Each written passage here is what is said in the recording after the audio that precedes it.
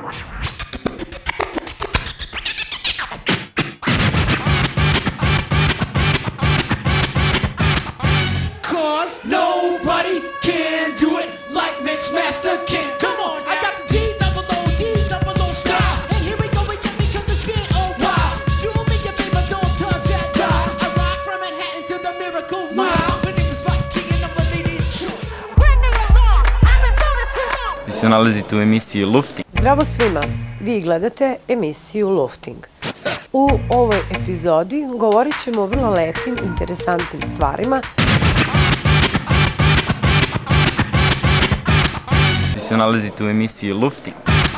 Ja se zovem Hadži Milena Marija Magdalena Kovačević. E, Ja sam akademski slikar, modni kreator, a bavim se i pri Akademiji za ezoteriju. Moje drage sestrice Vile, gde ste do sad bile? Skupite vaše moći i možete u naš lufting doći.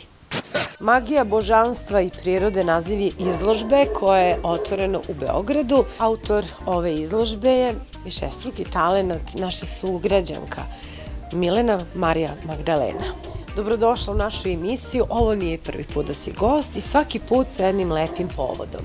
E, Da li nam nešto više možeš reći o ovoj novoj izložbi? Kao prvo da vam se zahvalim da ste došli u ovaj moj dom i da imate poverenje u mene, da me pratite šta ja sve radim. E, ova izložba koju sam, tako reći, napravila, u stvari ona je izložba koja će biti stalna postavka.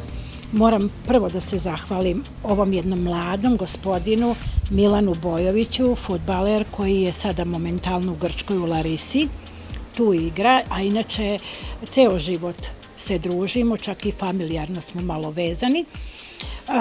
To je bila ideja, pošto ja radim naravno slike i ostalo sve s čim se bavim, da kao jednu zahvalnost svojoj Mileni napravi upravo i momci iz a, Lava bara ili kako da kažemo sada po novom a, kod glumca, tu postavku da mi omoguće jedan korak dalje, da te slike tu ostanu i da se brinu eventualno za galerije kroz Beograd, pa ćemo da vidimo dalje. Tvoja umetnička sloboda baš obuhvata, jel, da kažemo, sve te neke vremenske epohe. Tvoji crteži i zapravo tvoje slike odišu e, jednom lepom opuštenošću, e, jednom lepom bojom, intenzitetom same kompozicije na njima. Pa eto u ovoj kolekciji koja je zapravo u Beogradu sada, reci mi, e, da li su stavljene slike tamo gde trebaju da stoje? E, kako si ti osjećala tamo i kako je to publika u Beogradu prokomentarisala? Pa, kako da kažem, to je jedan ambijent koji je e, vezan više na etno stilu. Njihova bašta je približno slična mojoj bašti koju ja imam sa malim bazenčetom, zelenilom. E, Unutarnji interijer ima dosta drveta, e, kamena, ono sve što je u stvari ja upražnjavam i kod sebe u mom normalnom životu. Drugo, slike jesu zaista postavljene, ali ih ja nisam postavljala jer je e, začudila sam se e, da ti momci koji su to radili i zahvaljujem se, oni su to odradili kao da sam ja tu bila. To je tako složeno, to je tako skockano, e, ma čini mi se ni ja ne bi možda mogla bolje da uradim, ali ništa nije slučajno. Ako mene neko zove, znači to je zov Božji, u stvari i jeste e, mistika ta e, božanstva, magije, prirode, a i ljudstva naravno. E, to što će da se prikaže i dalje ću da, da nosim često, ću da nosim nove slike, pa ćemo da menjamo normalno. Um, to su ljudi ljubitelji prirode, ljudi koji znaju s čim se ja bavim, ljudi koji su maltene u tom svetu isto pored toga što oni prave, da kažemo, biznis, posao, to je ipak objekat gde je noću muzika, diskoteka, danju je e, normalan restoran gde dolaze ambasadori, glumci, zato se zove kod glumca, dolaze ljudi svih profila i koji razumeju šta to znači.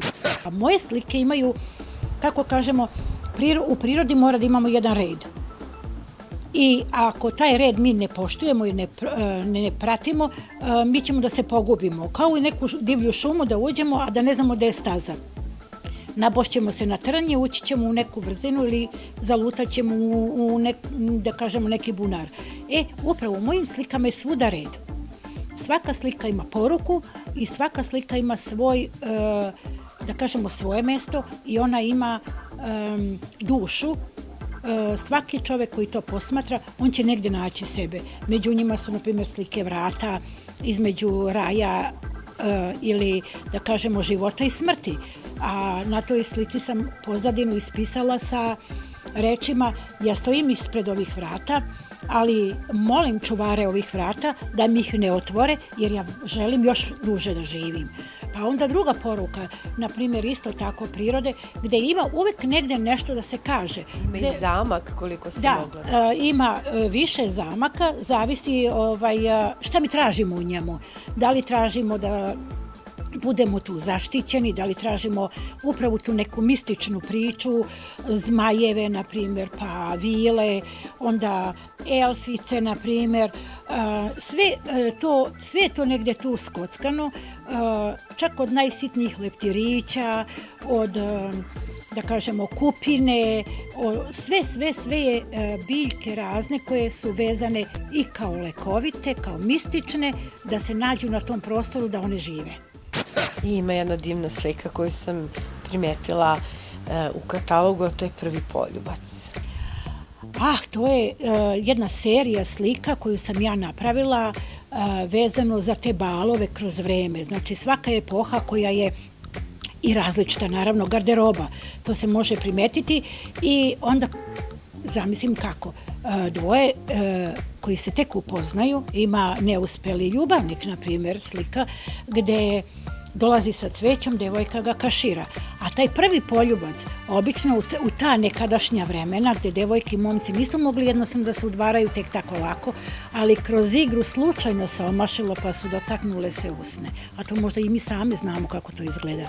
Koliko je danas vreme nekako udaljilo e, tu neku ljubav i to neko udvarnje između mladih? Pa, ja da kažem, to je se mnogo udaljilo iz tog razloga što mi ljubimo naš telefon i SMS poruke. Ja sam s tim sad sve rekla.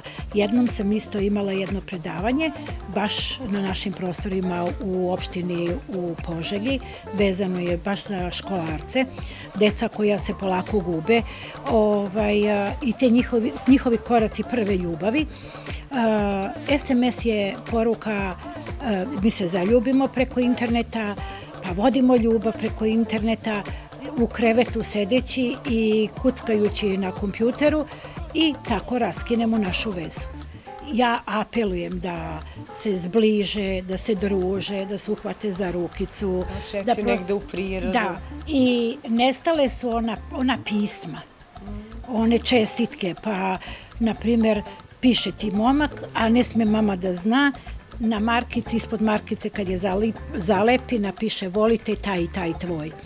Prema tome apelujem da imamo balove, da imamo čestitke, da mladi se vole, da se šetaju kroz grad kao što smo mi nekad imali našu promenadu, da se zagrle, a ne da sede samo po kafićima uz narkotike ili ko zna kakve druge pričice, da se ljubav e, štiti i da to bude nešto opipljivo, lepo, čisto i da kažemo božanstveno.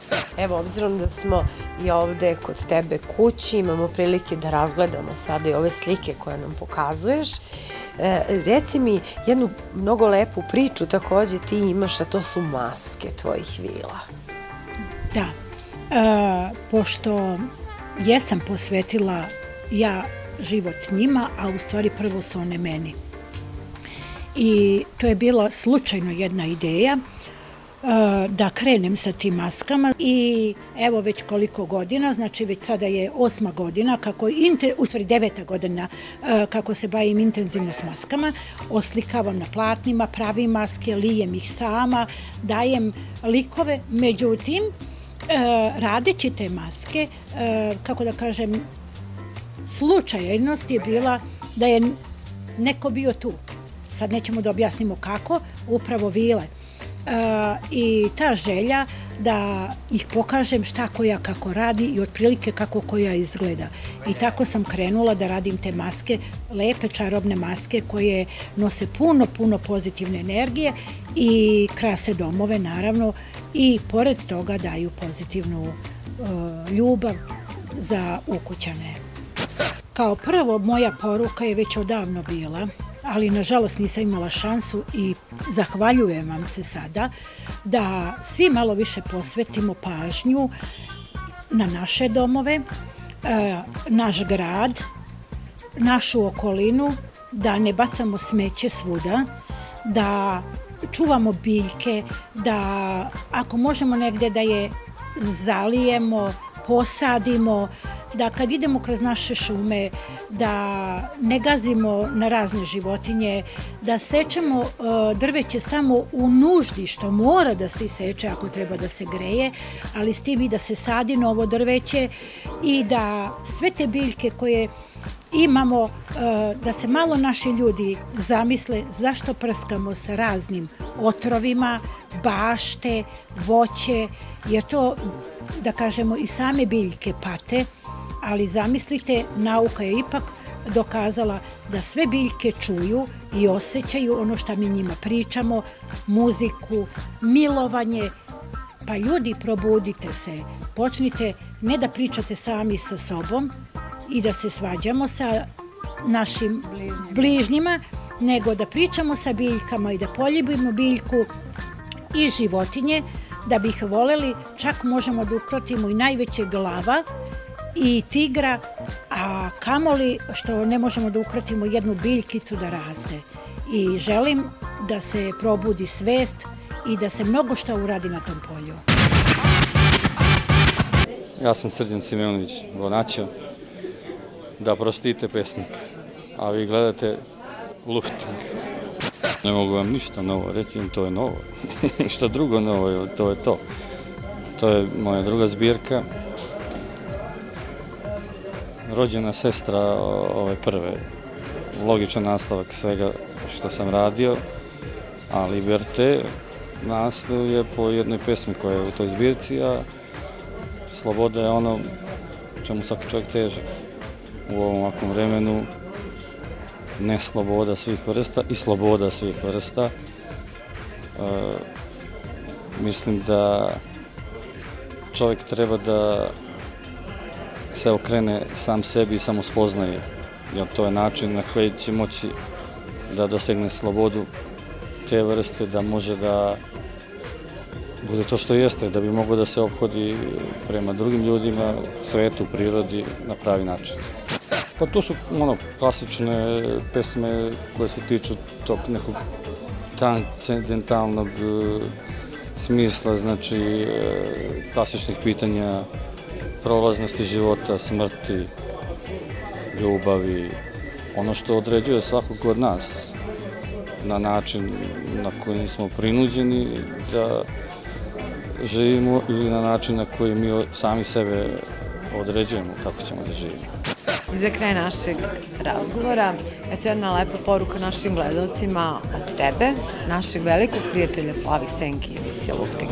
Da, ja sam u Plavim Senkama od prve emisije i to je moj ponos veliki. A poruka, pa budite to što jeste, volite ljude oko sebe i čitajte poeziju, ma kakva da je, jer ona ne može da bude loša. I gledajte Lufting i Plavi Senki. Ja sam Svetlana Jevtić, akademski slikar, a vi gledate Lufting. Šta gledate? Lufting. Vi gledate Lufting. Laki noć.